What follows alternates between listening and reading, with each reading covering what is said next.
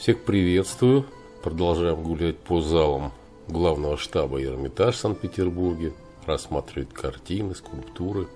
Хатей, фаянс, роспись, полихромная надглазурная, позолота, Япония. Мастерские Сацума, конец 1880-х годов, из личных комнат Николая II. Относится к стенду подарки, привезенные цесаревичем Николаем Александровичем, будущим императором Николаем II из путешествия по Востоку. Хатей Будай. Холщовый мешок, полотняный мешок.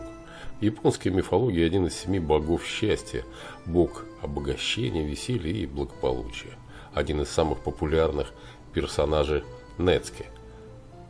Хатея часто называют Буддой, ошибочно принимая его изображение за изображение Будды Шакьямуни.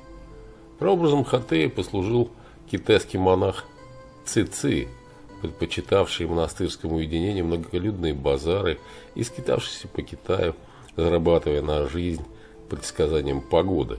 Из имущества у него были лишь посох и мешок для подаяния, называемый хатей, от которого монах и получил свое прозвище. Закреплению данного прозвища также способствовал второй мешок – огромный живот, который не могла закрыть никакая ряса и в котором, по представлениям китайцев, была сосредоточена жизненная энергия Ци. Если кто-нибудь спрашивал, что находится в его мешке, он отвечал, там у меня весь мир.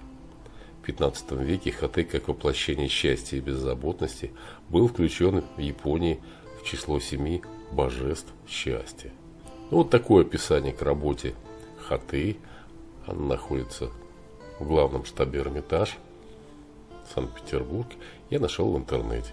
Пока-пока, до свидания.